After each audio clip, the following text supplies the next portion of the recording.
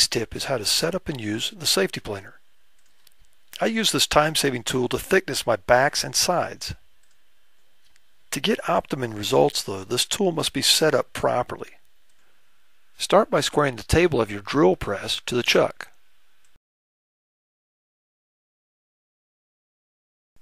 Make an auxiliary table out of some scrap wood that has a fence on it with a cutout area for the tool to enter.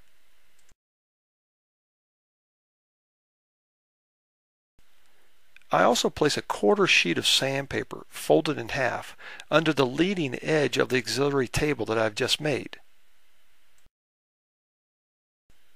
When feeding the lumber into the tool, the tool will only be cutting on the leading edge. There will be a slight gap on the back side between the tool and the lumber. This will keep the Safe-T-Planer from heating up as much. Use the drill press handle to raise and lower the table of the drill press until you have a gap about as large as the desired thickness of your lumber. When locking the table into place, you may notice that the gap will diminish slightly, so take that into consideration. With the tool running at about 1700 RPMs, feed the lumber into the tool slightly to check for thickness. I want my final thickness on this guitar back to be about 2.5 millimeters. So right now I'm setting the tool up to cut at about 2.9 millimeters. This gives me a little excess for scraping and sanding after the backs have been joined. If needed, adjust the drill press table to arrive at your desired thickness. Notice as I feed the lumber into the Safe-T-Planer, I'm holding it down with a block of wood. This makes sure that I stay flush to the table. Also notice that I have a partner that is doing the same thing on the outfeed side. Although it's possible to do this operation by yourself, an extra set of hands sure is nice. After each pass, I like to check the thickness of the lumber with some thickness calipers to make sure that the tool is cutting consistently. If the tool doesn't need adjusting again, I go ahead and make a pass on the other side. Make sure that you feed the wood straight into the tool and that you hold it down flush on the table with your hold down block. It's not necessary to apply a lot of pressure, just slight pressure. If you apply too much pressure, it's hard to feed the wood into the tool. On wider pieces of wood like guitar backs, it's necessary to move the fence and make two more passes with the Safe-T-Planer in order to thickness the entire piece. But before I do that, I'm going to make a couple of passes on the other piece of my two-piece back.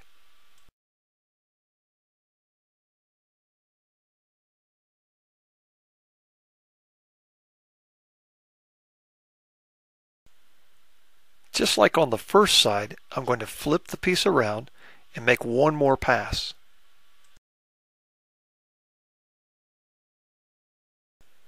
Notice that I'm using just an ordinary 12-inch benchtop drill press with the Safe-T-Planer. It's not necessary to spend a lot of money on your drill press.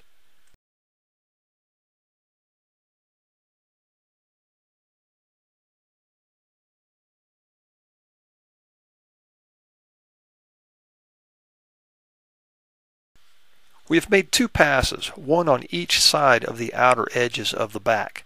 Now we need to bump the fence back so we can cut the middle section.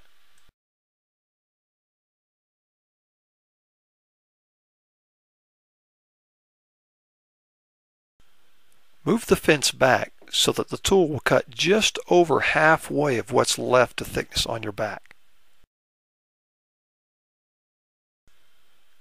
Then you can go ahead and clamp the auxiliary table back to the drill press table. I only slightly feed the piece of wood into the tool and check it with my calipers to make sure that I'm still cutting at the same depth. You may need to adjust the table if there's a slight step between the first and second pass. Also notice that the tool is only cutting just over half of what's left to thickness.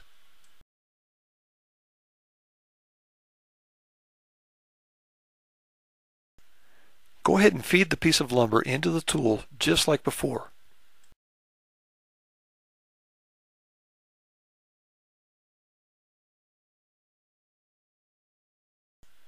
Flip the piece of wood around and feed it in to make a final pass.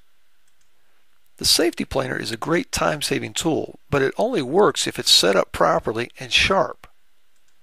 Therefore, I need to talk a little bit about how to sharpen the tool. Start by using the Allen wrench provided with the tool to loosen the set screws that hold the cutter heads to the tool.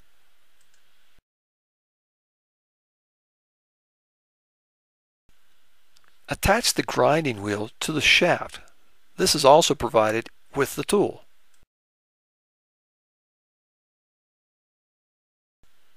Don't over tighten the screw that holds the grinding wheel to the shaft. Also, don't drop it. It easily breaks.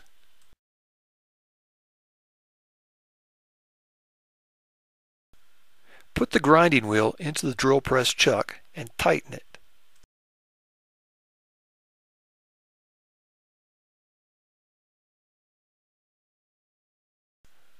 Watch as I show how to grind a fresh edge on the cutter.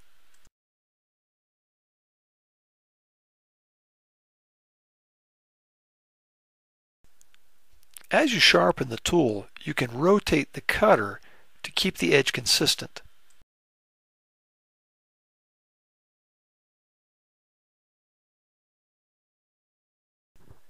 Be careful as you do the step and hold onto the cutter firmly.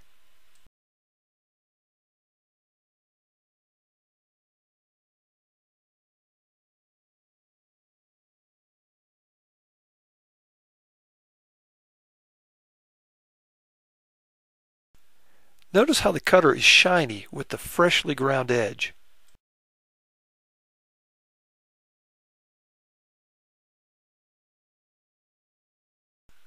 When reattaching the cutters onto the tool, make sure that the cutting edge aligns with the line on the bottom of the tool.